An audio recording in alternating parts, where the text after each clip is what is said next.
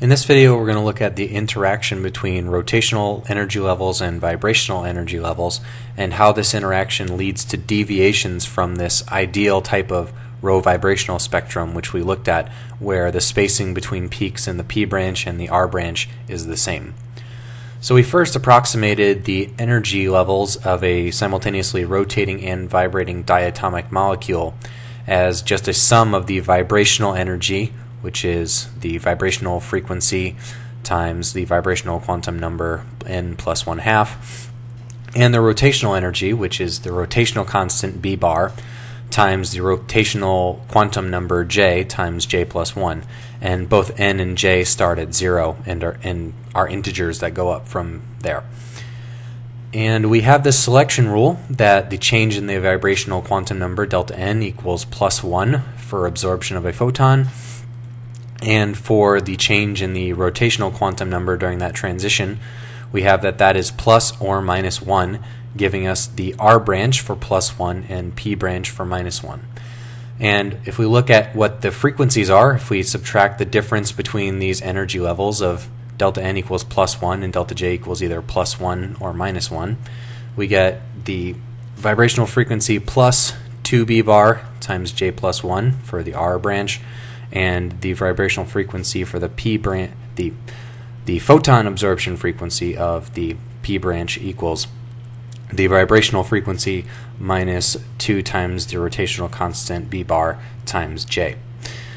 But if we look at actual rovibrational spectra, we'll see that that's not exactly the case. That if you stare at it for enough time, you'll see that the spacings between adjacent bars in the P branch is larger than that for adjacent bars in the R branch.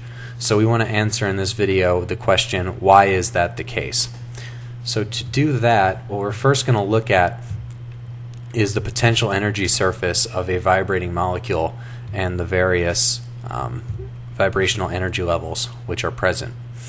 So if we have some interatomic potential energy, V of R, with R increasing to the right here. Then we can have some rotational energy levels like this. And there will be a good number of them that are bound. But we want to look at what the expectation value for R is, or what the bond length is for various states.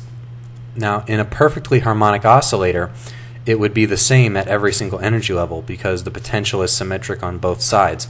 But in real molecules, this potential isn't perfectly symmetric, it's anharmonic. So it's actually much stiffer on this low end of the bond length side, and it's much softer on this on this larger bond length side. So adding in more terms in the Taylor series would give you an expectation value for the bond length, which increases slightly as you go to higher and higher uh, rotational, sorry, vibrational levels.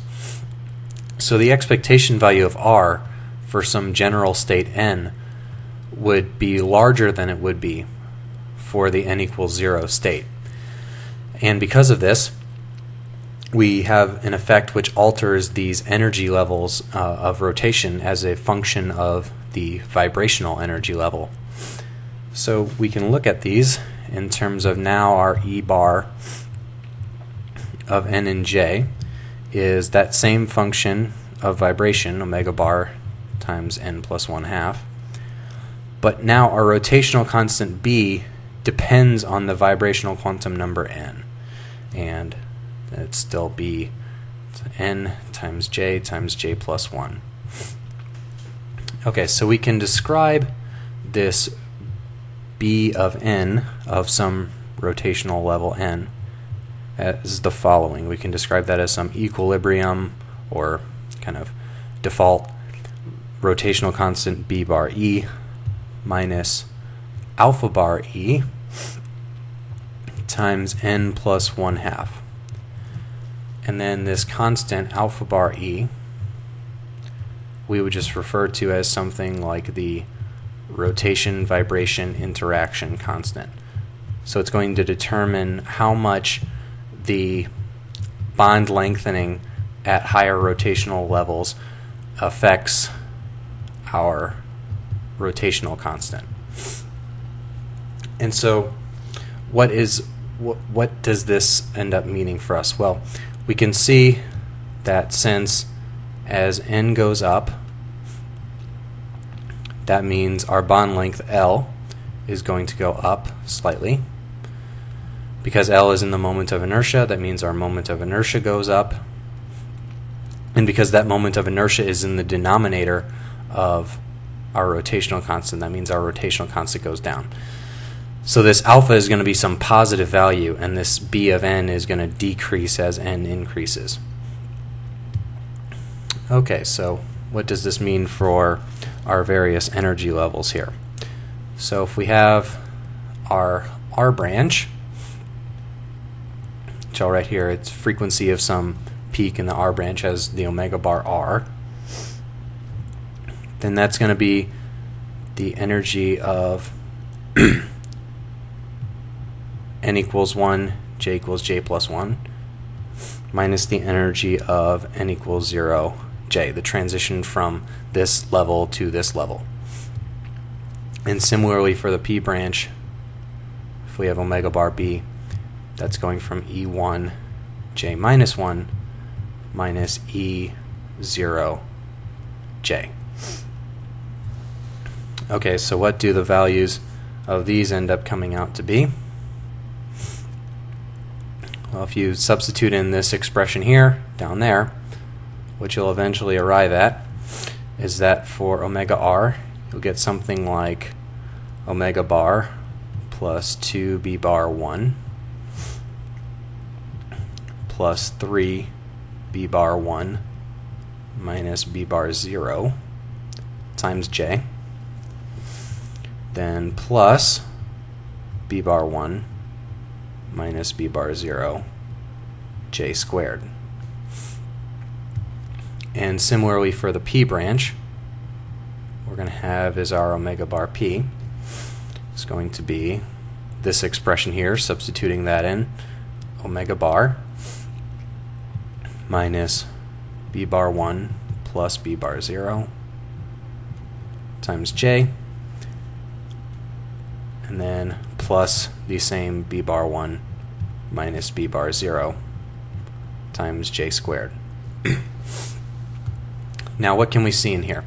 Well, this term here is the same in both cases. There's a quadratic term that depends on j, you can see if we estimate, if we turn on the fully rigid rotor approximation, that would mean alpha equals 0 and B1 equals B0. So under the fully rigid rotor, this term goes away. It's not present. So this is accounting, this is accounting for some of those couplings between vibration and rotation in this, in this way. And what this is going to do is um, also we can notice that since B bar 1 is less than B bar 0, this whole term is going to be less than 0. So there's going to be this negative quadratic term, which as you increase get, is going to pull your values further negative. So that's going to make the values of the R branch get closer together because they're increasing in, in frequency, and it's going to pull them towards lower values. Whereas the P branch, um, they're decreasing in frequency as you go up in J.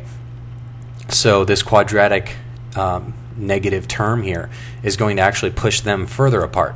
So that's one term that's contributing to this effect of the P branch being more spread out than the R branch.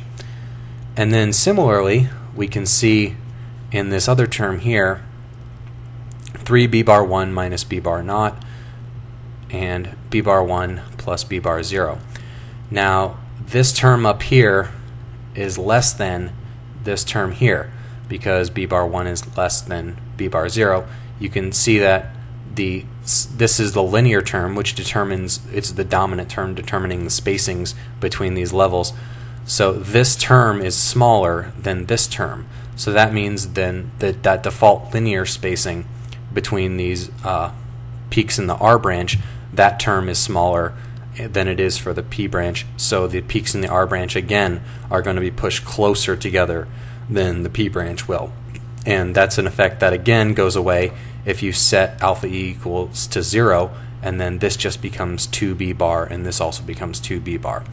So it's really all depends on the value of this constant here, this rotation vibration interaction constant alpha bar e. And alpha bar E and B bar E are both things which have been tabulated for a large number of molecules, and you can find these constants in textbooks or whatever uh, reference sources for spectroscopy you might uh, be interested in or look up. So that's just how rotations and vibrations uh, affect the look of this rovibrational spectrum. And this pretty simple model here for for approximating that the bond length gets larger at higher vibrational levels has really given us two ideas that definitely predict this type of effect.